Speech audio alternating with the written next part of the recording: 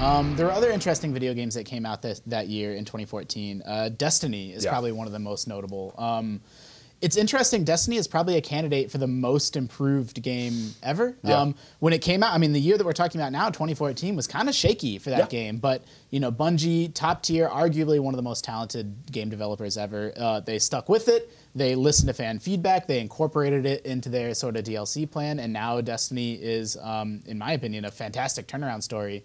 Um, but it was always a commercial success, right? From the Oh yeah, start. right Yeah. from the get go. Um, yeah, and it was. I mean, they had so many uh, question marks surrounding it. Like, what is Bungie going to do? Af- what's life after Halo? Mm-hmm. Like, what's after life with Microsoft? Uh, and you know, they've said time and time again that Destiny, that the, the success of Destiny is one to one the success of Bungie. Like, if Destiny fails, Bungie fails. Yeah. And they're like, this is a platform. This is a decade long project. Like, No this- pressure. Like, yeah, we're going all in on this. Uh, and yeah, like you said, it came out and sold really well, but it was. It came out and everyone was like, "This is fine. This is good." Yeah. Um, had but- story had some story issues, Yeah. had had you know a few issues like that, and they really stuck with it. Like Yeah. I, I commend them for that. I guess they didn't really have a choice. Yeah, but I mean, yeah, you know, cut to literally just a little over a year later, and the Taken King comes out, and everyone in this office is playing it. Like everyone is obsessed with it, and and they're finally nailing the story. They're finally Mm-hmm. nailing the raids. They're finally sort of delivering the promises that they Mm-hmm. made originally.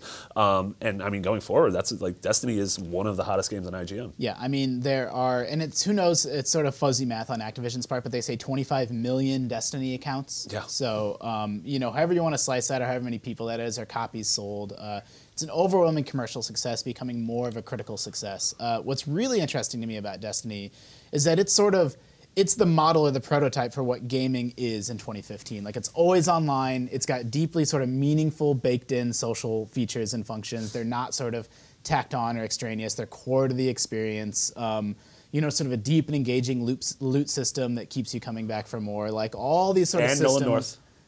and Nolan North. games, you know. So it sort of combines everything that gaming is kind of about in 2015, and uh, it was very ahead of its time in that in that sense. A I year think. ahead. At least one year ahead of its time. That's really good.